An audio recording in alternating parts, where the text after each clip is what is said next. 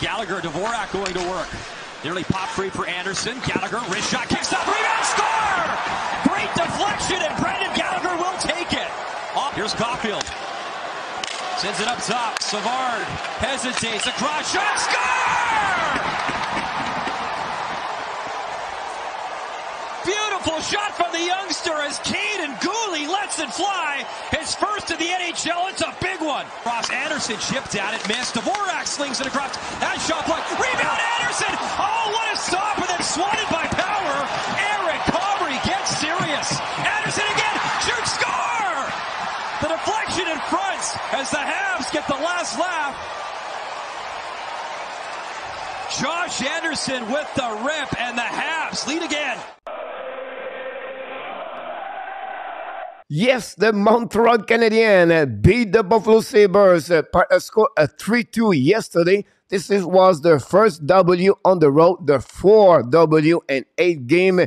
Ladies and gentlemen, this is what we have uh, today on the AB Daily News, uh, episode number 163. Then I'm going to talk about Kaiden Guhle at the end and the World Junior Championship 2023. Let's dive in and talking about the first subject of the day. Of course, the first subject of the day, guys, is the recap game between the Buffalo Sabre and the Montreal Canadiens. Final score, Montreal Canadiens 3, Buffalo Sabres uh, 2. Like we do usually, we give you all the score, what happenings during the game. First of all, Montreal Canadiens take the lead 1-0 at 13-31. A goal of Gallagher, second of the season. Josh Anderson got an assist. And they Dvorak got his first helper of the season. It was 1-0 Montreal. Gallagher shot the point on the left side of Comrie, saved by Comrie, but unfortunately hit the skate of Owen Power, and that's the way the puck go in, and that's what Montreal they delete 1-0. Overall, the Buffalo Sabre was a bit better compared to Montreal Canadiens. Whatsoever, 13 shot Buffalo at 12 for the Montreal Canadiens. Montreal at 0-2 on power play and 0-1 for the Buffalo after 20 minutes. Then at the beginning of the second period, the Buffalo Sabres uh, tied the game on the power play. Jeff Skinner scored his first goal of the season, assisted by Tuch. Jack Quinn, good shot of the Skinner over the left shoulder of Montembeault. We have to give credit for Skinner on this goal. We know Skinner last season has a full goal against the Montreal Canadiens. So after 40 minutes, the score was 1 to 1. Buffalo dominates during that second period, but Montembeault was solid between the pipe, keep Montreal in the game. Then we started third period, and then Kaiden Guhle at 6.51 scored his first goal in NHL, a great one-timer shot that beat Comrie over the, his right shoulder. Savard and Caufield got an assist, but again, for the second time in this game, Buffalo Sabres, a little bit six minutes later, a Cozens tied the game 2-2 with his third goal of the season. Bryson and Pilut got an helper on this goal, but it was not over yet because less of four minutes later, Josh Anderson, after he got still a goal by Comrie, a big save and power, pushed the puck with his hand. The puck go back at David Savard, and he did a great pass to Josh Anderson. One more time, he used his one-timer shot, and the puck go through the defenseman of the Buffalo and the goaltender. And that was the goal-winning game for the Montreal Canadiens. Josh Anderson was his third goal of the season, second point of the evening, like David Savard. That guy was all the goal we got tonight between the Buffalo Sabre and the Montreal Canadiens. Let's move in now for the leader of the night. We have Josh Anderson, two point. Caufield shot six times on the goaltender Comrie. Savard play over 22 minutes, 49 seconds. Then Montembeault, guys, save percentage of 9, 5, and 6. Uh, on the flip side, we have a player with the Buffalo Sabre with one point. Thompson shot eight times on Montembeault. Dahlin played over 27 48. And finally, Comrie have a save percentage on 9-1-2. Played pretty good overall between the pipe for the Buffalo Sabres. The only reason Montreal win this game is we have to give credit for Samuel Montembeault. Save 30, 43 of the 45 shot he, he faced yesterday for the save percentage of 9, 5, and 6. Montembeault it was alert, killed Montreal in the game, and honestly was maybe one of his best performances since he's been with the Montreal Canadiens. So we have to give credit for Samuel Montembeault. Since the beginning of the season, Montembeault have a great performance every night. If you look about this uh, when Ometer, Montreal Canadiens should not win this game. There was only 35.9 versus 64.1 chance percentage of the Buffalo win this game. If You look about the shot, look the blueprint of the Buffalo Sabre, the high danger scoring chance they got in front of Montembeault, but Montembeault resists at those shots comparatively to Montreal. You can see not many shots in front of the net. The next thing I want to talk about, guys, Montreal is really now play for 500. One of the reasons is the goaltender. Allen and Montembeault. Allen is the number seven in NHL. Montembeault number nine on the goal save above expected, and then the goal save above expected per 60 minutes.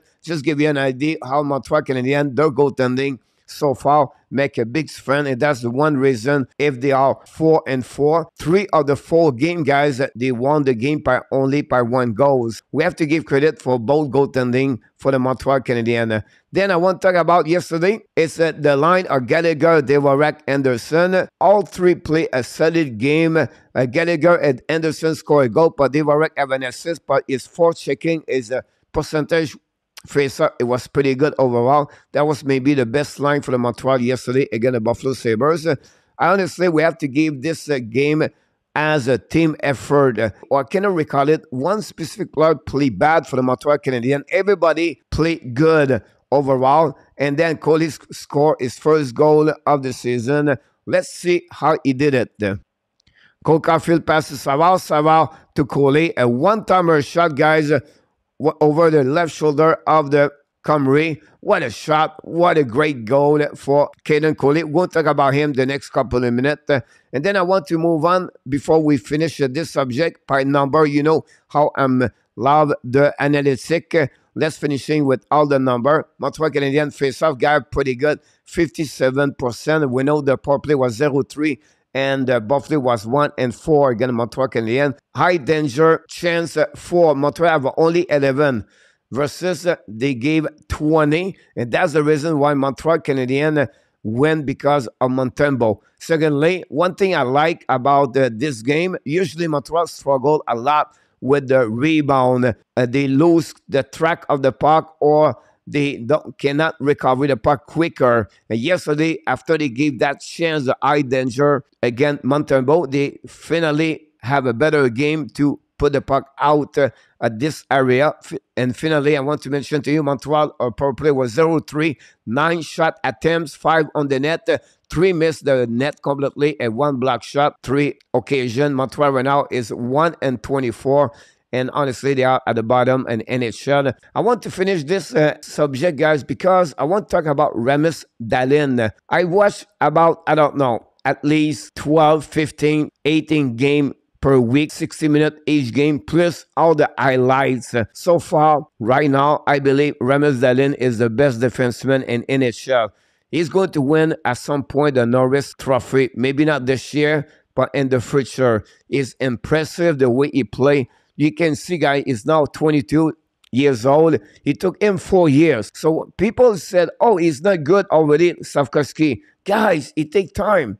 A little bit longer for defensemen. Imagine what Guhle right now does for the Montreal Canadiens, Jordan Harris, and Arber Xhekaj. And they, all of them are only 20 years old. Just Jordan Harris is 22, probably only 18 game in NHL. Experience, time. That's what a part of the process. But I just want to show to you guys that yesterday, Rasmus Dahlin was unbelievable on every area. This complete, guys, my first subject of the day. The next subject of the day, guys, is we I'll call this all the time the ab news. But this week, uh, this time, I want to talk about Kaiden Guhle because his performance yesterday was impressive.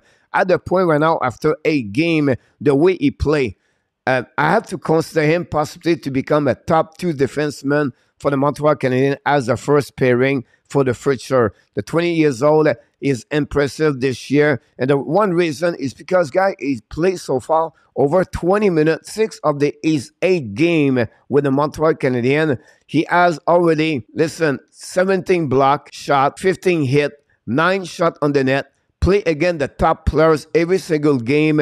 I'm talking about he played with uh, David Savard on the first pairing. Just give you an idea how is difficult it is. Whatsoever he has a minus three, we have to give him credit for what he accomplished so far with the Montreal Canadiens. Guhle, guys, uh, he showed me is calm whatever he make a mistake, he come back like nothing happened. It's really good for me. His mindset about the game. He really forgot where we said great hockey player have to have a short memory. And that's happening with Guhle. He's never nervous, play on P power play now and then he played on the PK for the Montreal Canadiens as a first pairing. Kaiden Guhle is going to be one of the best defensemen in the future for the Montreal Canadiens. And let's finishing, guys, with my last subject of the day. My last subject of the day, guys, is about the World Junior Championship at 2023. First of all, Team Sweden play next month in November. They call like the Three Nation Tournament U20 is in Czechia, Finland, Sweden, and Czechia play this tournament. Usually Adam Engström